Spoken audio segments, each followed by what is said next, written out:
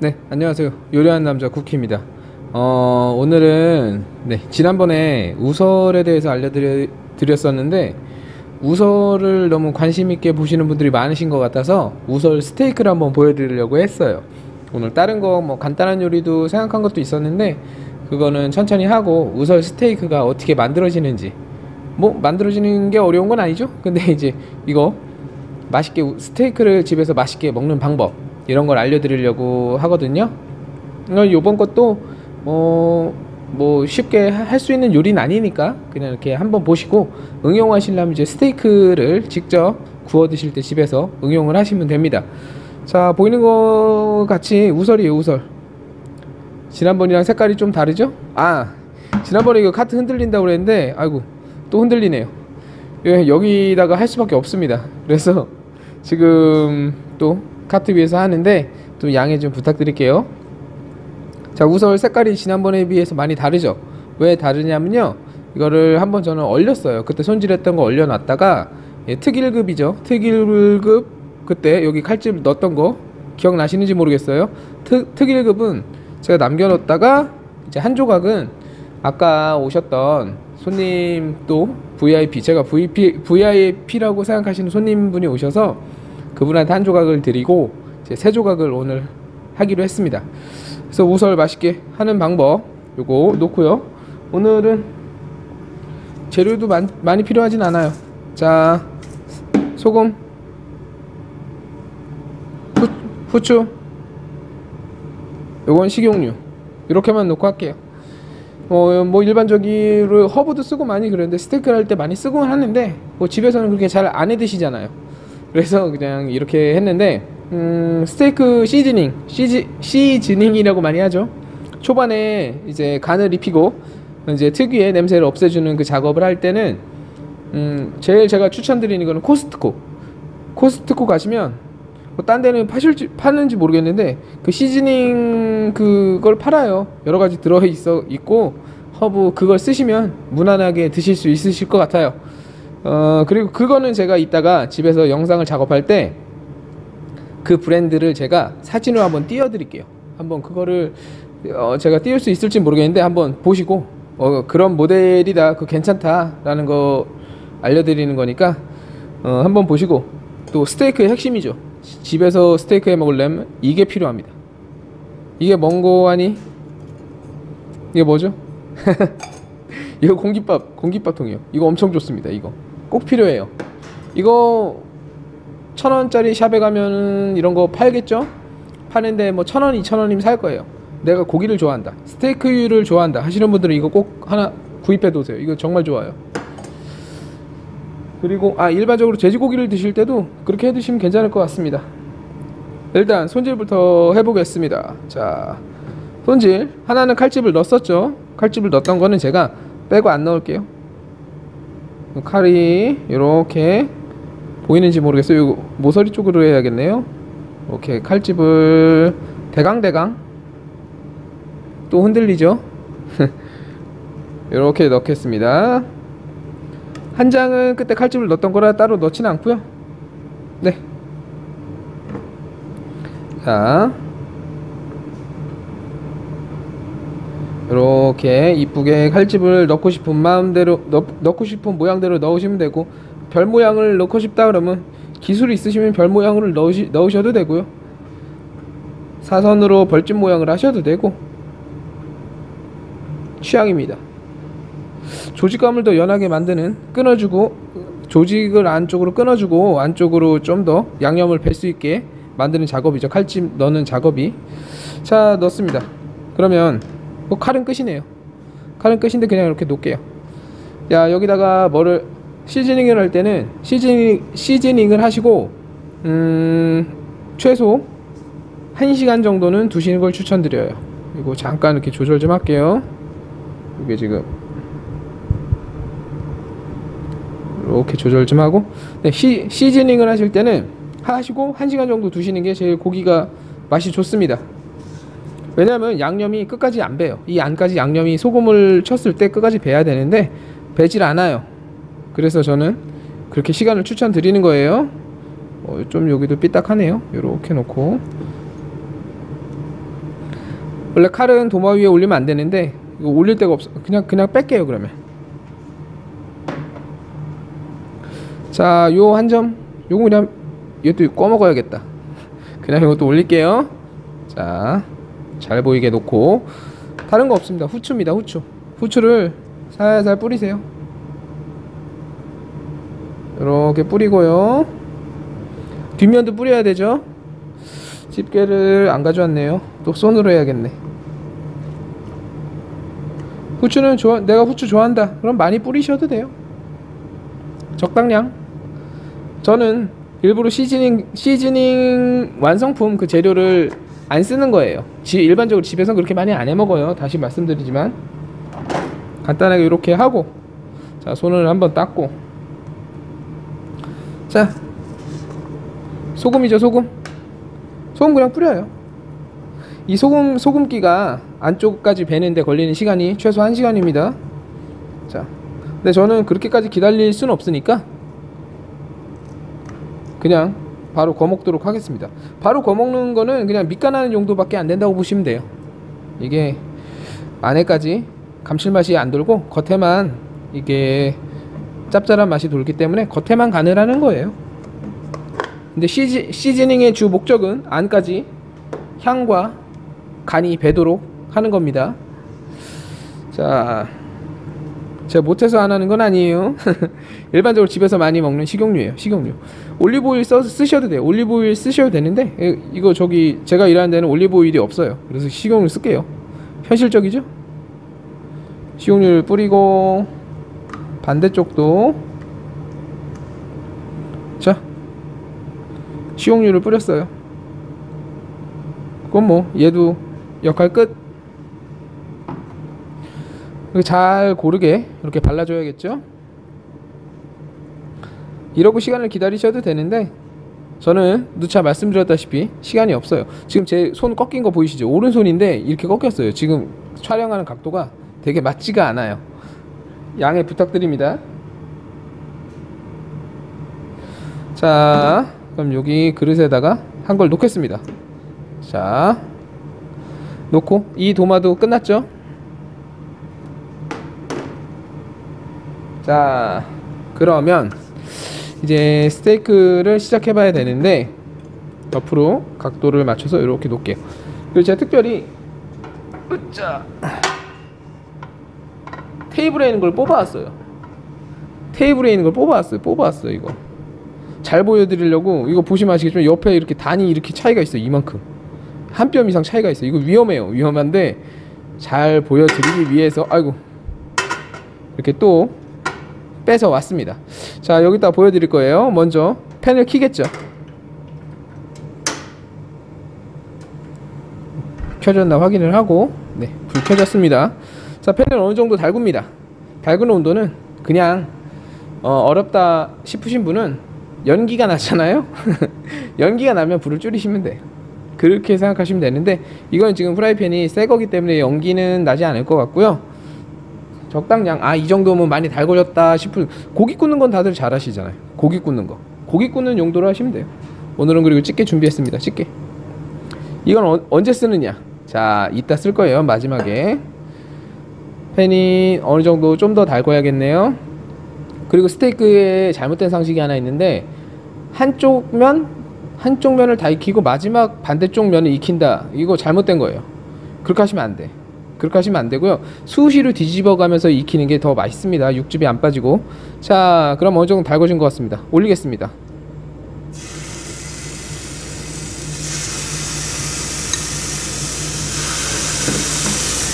자, 불은 너무 세지 않게 중불로 하겠습니다.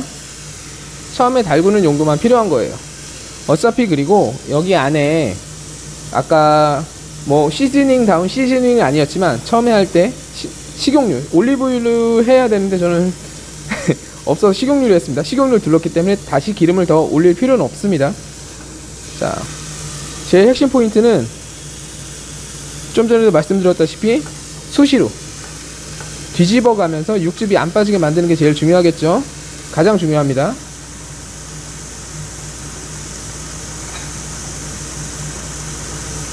자 연기가 납니다. 당황하지 마세요 원래 연기는 납니다. 고기를 구우면 낫죠. 어, 우리 옆에를 잘 보여드리려고 제가 이런 걸 보여드리려고 한 거예요. 자, 옆에. 요 정도, 어느 정도 익었으나 지금 여기서 끝에서 요만큼 익었어요. 여기도 요만큼 익었죠? 그 가운데 요만큼이 안 익었어요. 자, 더 굽겠습니다. 제일 좋은 거는 포인트는, 음, 저 같은 경우는 고기 옆면을 3분의 1로 나눴을 때 딱 반 정도. 아, 세 등분을 나눴을 때 양쪽 위아래가 반 조금 안 되게 익었을 때가 저는 가장 좋다고 생각을 해요. 어, 더 하셔도 되는데 저는 그 정도 느낌을 제일 좋아합니다. 아이고 보셨어요? 이거 쓰러지는 거 굉장히 위험하죠. 일부러 보여드리려고 이렇게 놓은 거예요. 따라 하시면 안 됩니다. 이거 이거 버너 조심하셔야 돼요. 일반적으로 사용하실 때는 자 익힙니다. 자, 전 레어로 먹었을 때 얘기고요. 자, 옆에 보시면 잘 안 보이시나요? 여기 핑크빛이 약간 가운데 돌죠. 자, 조금 더 이렇게 익히겠습니다. 얘는 진작에 다 됐어요. 얘는 됐는데 그냥 같이 어울려서 꽂겠습니다. 자, 이렇게 어느 정도 아 익었다 싶은 느낌이 들 때가 있어요. 정 모르겠다. 그럼 가운데를 잘라보는 수가 있죠. 자, 제가 한번 보여드릴게요. 그러면 가운데를 불을 줄이고서 아 가비를 안 가져왔네요. 그럼 제가 여기 뒤에서 일단 한번 보여드리겠습니다. 제가 급하게 반을 잘랐어요. 자, 보이시나요? 아 뜨거. 조금 더 익어야겠죠. 자, 요만큼 들어갔고 요만큼 들어갔습니다. 요 가운데 요만큼 안 익었습니다. 드셔도 돼요. 드셔도 되는데 전 조금 더 할게요. 자, 뒤쪽에서 자르는 그 동안에 어느 정도 이제 답이 나온 것 같습니다. 이렇게 하고 어떻게 하느냐? 가장 중요한 핵심 포인트입니다. 자, 이걸 가져온 이유입니다. 다 구시고 마지막에 후작업을 하는 겁니다. 여기다 넣으세요. 어이구. 위험하죠? 한 번 더 이게 꾹 눌렀다가 이게 쓰러졌어요 또. 자, 끝입니다. 스테이크예요. 이 작업을 왜 하느냐? 원래는 스테이크를 굽고서 마지막에 이렇게 후 작업을 한번 해야 음, 육즙이 골고루 퍼지게 됩니다. 가운데에서 번 다른 데로 나가지도 않고 육즙을 가둬두기 위해서 골고루 풍미를 어, 감칠맛을 느끼게 하기 위해서는 꼭 후 작업이 필요합니다. 시, 시즈닝 처음 전처리 작업보다는 후 처리 작업이 원래 훨씬 더 중요한 겁니다. 스테이크는 원래 적정 온도는 어, 60도였었나? 5, 60도? 이 정도가 제일 좋아요. 근데 우리는 그런 거 없잖아요. 제일 많이 쓰는 게 할로겐 램프로 많이 씁니다. 어, 부패집 가면 램프를 이렇게 비춰주는 거 있죠? 램프를 이렇게 대가지고 비춰줘가지고 따뜻하게 보온 효과를 내는 그런 데에서 이제 덮어놓고 하는 경우도 가장 많은데 예, 일반적인 집에서 램프에 이걸 들고 갖다 이렇게 놓을 수는 없죠. 그래서 저는 제일 많이 쓰는 이 열기를 그대로 보관할 수 있는 이 통, 이 밥통. 여 저는 이게 가장 좋다고 봐요. 그래서 고기를 좋아하시는 분들은 꼭 구워서 이렇게 정도 넣으시면 돼요. 어, 얘 못 넣네요. 자, 그럼 빠이빠이 할게요. 자, 그래서 어, 스테이크에 제가 오늘 말씀드리려는 거는 음, 우설이 중요한 게 아니에요. 우설은 여러분들이 어떻게 생겼나 궁금해서 구웠을 때 어떤 모양이 나올까 궁금하실까봐 제가 보, 알려드린 거고 오늘은 스테이크를 어떻게 하면 맛있게 굽느냐 제일 중요한 거 마지막에 후열 후열 작업이 제일 중요한 겁니다. 그래서 이거는 꼭 생각하시면 돼요. 뭐 돼지고기도 마찬가지 두껍게 써. 아 돼지고기는 뺄게요. 레어로 먹을 수가 없으니까 레어나 미디엄으로 먹을 수가 없으니까 네, 웰던으로 먹어야겠죠. 바싹 익혀서 물론 살짝 익혀 드시는 분도 계신데 저는 돼지고기는 바싹 익혀 먹는 편입니다. 자 그리고 이거 시간은 어느 정도 하느냐? 통상적으로 한 제가 알기로는 한 7분 30초, 8분, 7, 8분 때 가 제일 좋아요. 7, 8분 정도 이렇게 킵을 해두시는 게 제일 좋습니다. 그러나 그러나 뭐 너무 거기까지 복잡하죠. 그냥 알람 맞추기 7분 몇 초 외우기 어려우니까 그냥 5분 할게요. 5분 하셔도 돼요. 5분도 이렇게 뭐 금방 지나가니까 그냥 이렇게 다 구워서 바로 드신다고 생각하시지 마시고 한번 이렇게 열 처리 작업을 하는 그런 해서 드신다고 생각하시면 됩니다. 근데 저는 여기서 더 안 기다릴게요. 이거 5분 동안 기다릴 수가 없어요. 그래서 보여드릴게요. 아 뜨거 뜨거 엄청 뜨거워요. 자 이렇게 됐습니다. 자 이미 빠진 육즙은 어떻게 할 수가 없어요 저거는.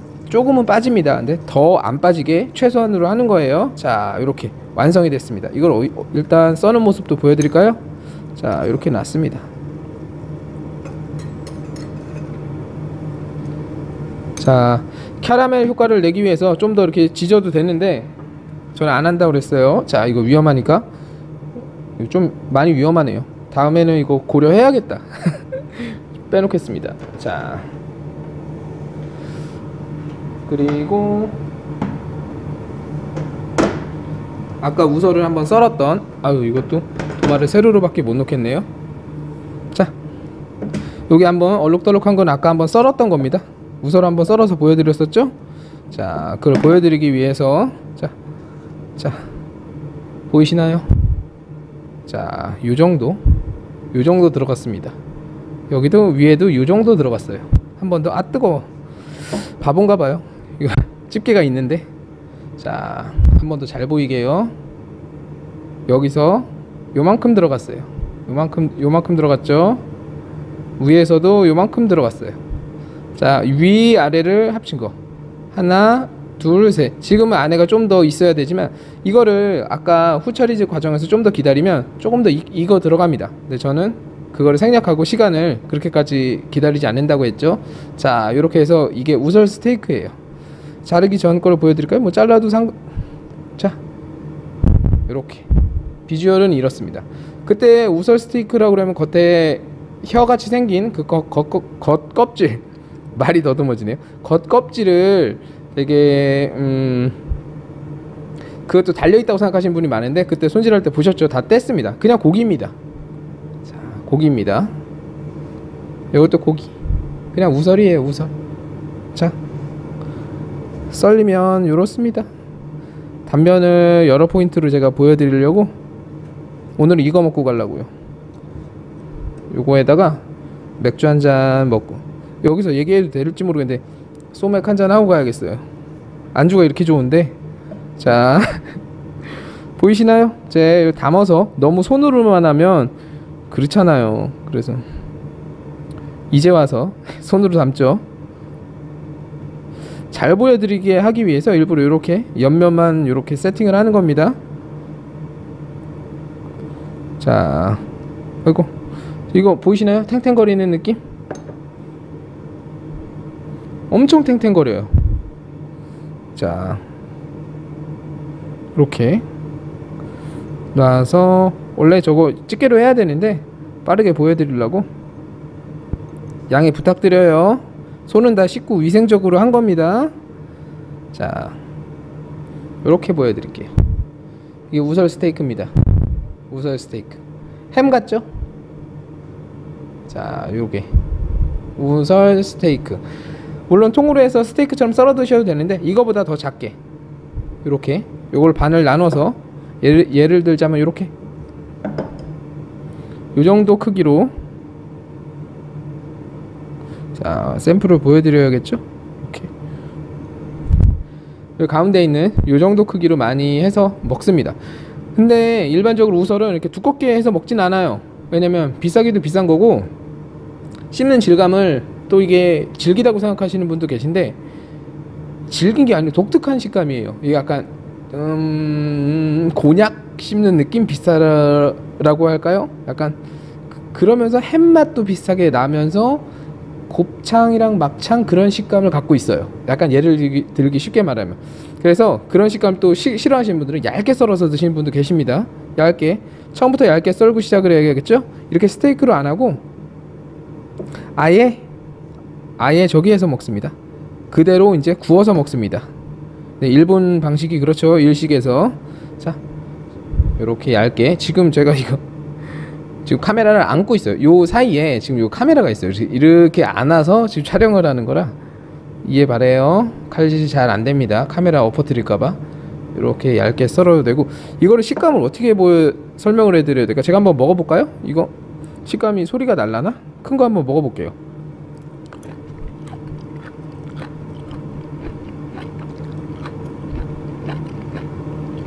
뭐 들리시는지 모르겠는데 하면서 먹으면 안 되는데.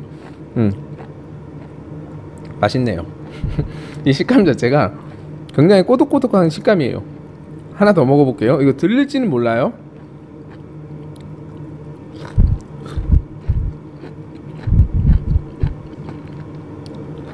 굉장히 사각사각한 느낌이 많이 납니다.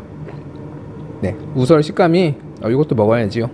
뭐 이거 제가 먹을 거니까 그렇게 해놓을게요 우설 식감이 음 굉장히 음 아까도 말씀드렸다시피 쫄깃쫄깃한 것도 아니고 애매모호해요. 좀 더 레어로 구시면 부드러워집니다.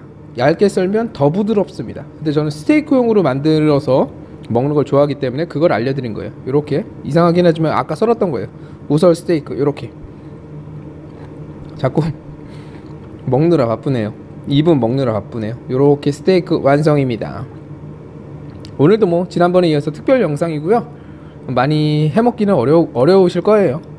어려우실 건데 요런 요리도 있다는 거 한번 꼭 보셨으면 좋겠어서 이렇게 오늘도 요런 요리를 준비해 봤습니다. 그리고 아까 말씀드렸던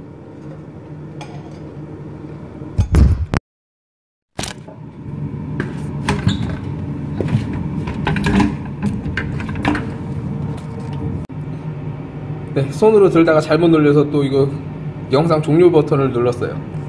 죄송해요. 그래서 한 번 더 이어가게 됐습니다. 일부러 끊으려고 끄는 건 아닙니다. 자, 아까 말씀드렸던 이거 밥솥이죠. 그리고 꼭 구입해서 고기를 구워 드실 때는 소고기를 구워 드실 때는 꼭 유용하니까 요거 한번 챙겨 두시고 스테이크 아니더라도 일반적으로 고기를 구워 드실 때도 간단하게 구워서 넣어서 보관했다 드시면 훨씬 더 맛있습니다. 몇 분? 원래는 7분에서 7분 30초 8분 사이에요. 근데 5분만 하셔도 무방합니다.